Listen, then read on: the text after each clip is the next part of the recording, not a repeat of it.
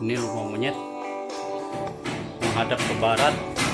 Yang menghadap ke utara itu ditutup. Di atas. Ini ruangan terakhir. Atau disebut dengan lantai 5 atau ruangan yang terakhir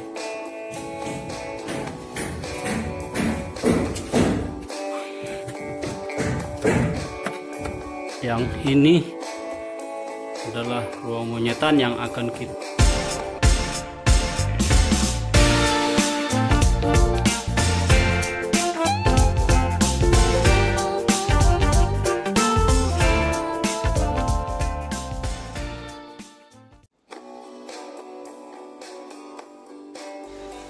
Salam hangat buat seluruh rekan petani white yang ada di kawasan Asia Tenggara atau di mana pun Anda berada. Kembali bersama saya Teddy Archie dari SWAT Channel. Berikut ini adalah video kiriman dari Kalteng. Sebuah gedung yang sudah berusia lebih kurang 2 tahun dan dikatakan dapat dikatakan gedung ini gedung yang gagal. Karena dalam usia 2 tahun, gedung ini baru terdapat dua bibir sarang dan dua polesan. Jadi jumlah penghuninya tidak lebih dari 10 ekor. Oleh karenanya pemilik gedung mempercayakan kepada SWAT untuk menangani gedung ini. Sehingga saya akan melayani penanganan gedung ini dari jarak jauh. Ukuran atau size gedung ini adalah 6 kali 12 meter berjumlah 5 lantai dan menggunakan menara foyer. Kita simak kondisi di dalam gedung ini dan kita lihat apa saja yang menjadi penyebab dari kegagalan gedung ini. Ini adalah video yang dikirim langsung dari Kalteng kepada saya. Di mana video dibuat ketika pekerjaan setengah berlangsung. Namun sebelumnya silakan di subscribe bagi teman-teman yang belum mengikuti channel ini dan bagi yang sudah mensubscribe saya mengucapkan terima kasih karena dukungannya akan semakin meningkatkan channel ini.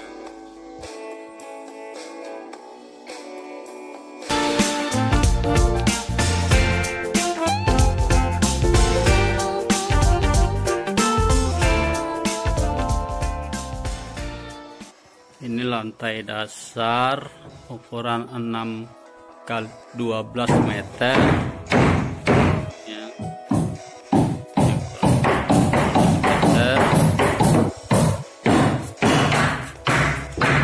ini ini lubang void. Nah ini lubang void. Lubang void. Ya 6 kali 12 4 meter. Ini saya buat sekatnya Pak Teddy lanjut ke lantai satu. Ya ini posisi lantai satu yang dulunya uh, los. Sekarang kita buat sekat.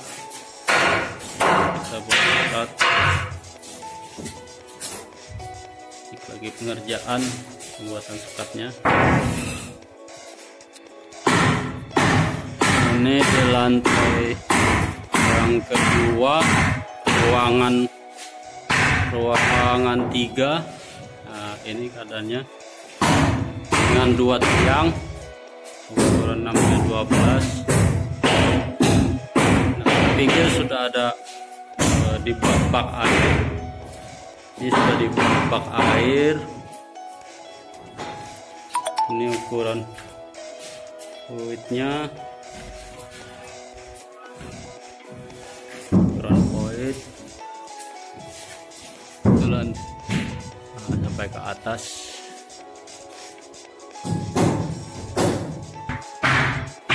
Nah ini lantai 3 atau ruangan 4 ruangan 4 dia ada sekat. Nah ini ada sekat. Nah, sekat.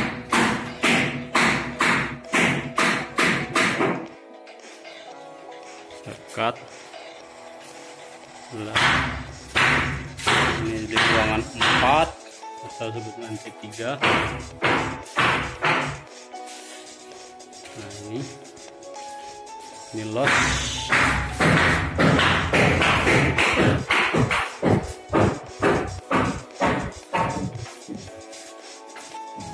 yang ini lantai terakhir. Atau ruangan 5 ya.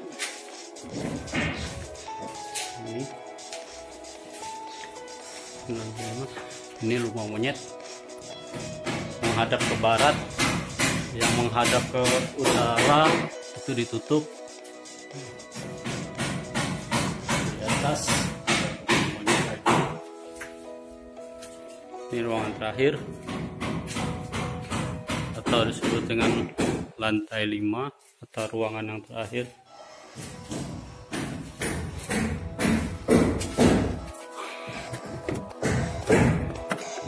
Yang ini adalah ruang monyetan yang akan kita bedah. Yang akan kita pasang sirip. Uh, kita akan pasang sirip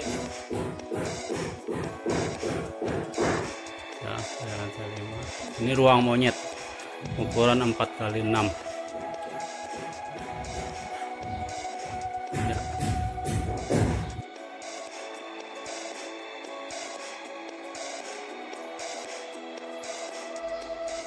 Ya demikian laporan dari Kalteng tentang kondisi di dalam gedung. Pekerja sedang melakukan penanganan gedung sesuai arahan saya. Jadi mohon maaf jika video ribut oleh pekerjaan-pekerjaan ketika laporan disampaikan kepada saya. Ya teman-teman bisa melihat bagaimana kondisi di dalam gedung. Kita bisa melihat bahwa gedung ini long. Tidak ada sekat di dalam ruang-ruang inap. Kita bisa perhatikan area siripnya. Area siripnya itu kita lihat ada juga digunakan besek bakul, dengan kondisi sebenarnya cukup gelap. Dan kita bisa melihat sebenarnya gedung ini untuk suhunya cukup baik. Saya sudah melihat bagaimana kondisi di depan atau di luar gedung selanjutnya adalah masalah-masalah yang dihadapi gedung ini yang pertama, teman-teman bisa melihat bahwa di dalam ruang inap itu tidak ada sekat. Sekatnya sangat minim, hanya ada di area void. Void gedung ini berukuran 2 kali dua setengah, rata-rata 2 kali dua setengah, hanya lantai dasar atau void paling bawah itu berukuran lebih besar, yaitu 2 kali 3 meter. Sistem voidnya adalah void plong atau void lurus dari menara foyer sampai ke lantai dasar.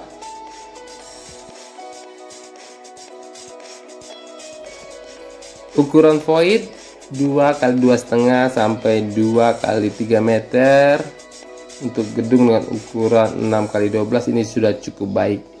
Ini tidak kecil dan juga tidak kebesaran. Ini ukuran menurut saya sudah cukup pas. Selanjutnya kita lihat bagaimana kondisi menara foyer.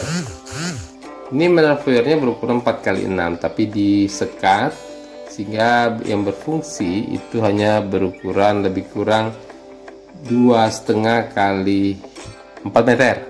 Sisanya ditutup dan tidak difungsikan oleh pemilik. Jadi ruang ini akan saya fungsikan menjadi ruang inap. Jadi menara foyer 4x6 ini akan ada bagian ruangan yang saya manfaatkan untuk dijadikan ruang inap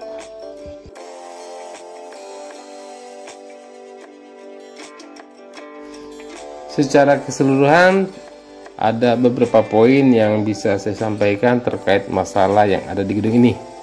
Yang pertama itu kita ambil dari menara foyer, di mana kondisi dari menara foyer ini tidak mendukung untuk membuat walet itu segera sampai ke ruang inap, baik dari posisi LMB-nya, ketinggian jarak maupun ukuran ruang roofing yang diletakkan di menara foyer. Poin kedua adalah bagaimana mengatur tata sekat. Penempatan sekat yang hanya ada di area void ini juga tidak maksimal. Demikian juga ruang inap itu plong tanpa ada sekat sehingga walet sulit menemukan blok-blok ruang inap yang nyaman buat toilet yang nyaman dan aman bagi walet.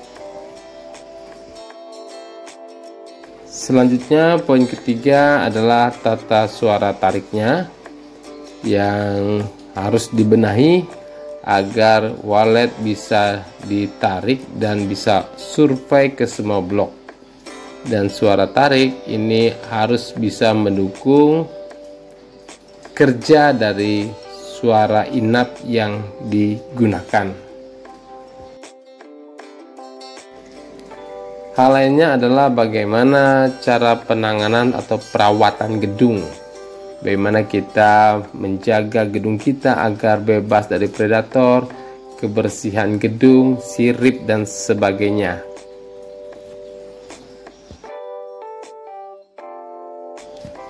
Jadi secara keseluruhan penanganannya adalah penanganan foyer, LMB, tata suara tariknya, tata sekat, serta kebersihan sirip dan sebagainya yang harus dilakukan oleh tim berdasarkan petunjuk dari saya.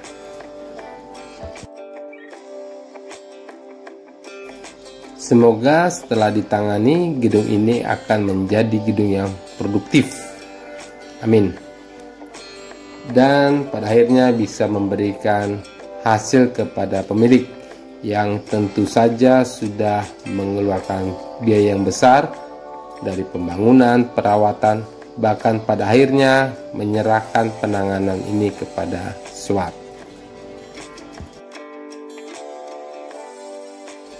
Demikian video kali ini, semoga bisa memberi kebaikan dan pencerahan buat semua. Lebih dan kurangnya saya mohon maaf. Saya Teddy Archie dari SWAT Channel. Salam sukses produktif dan salam SWAT buat semua.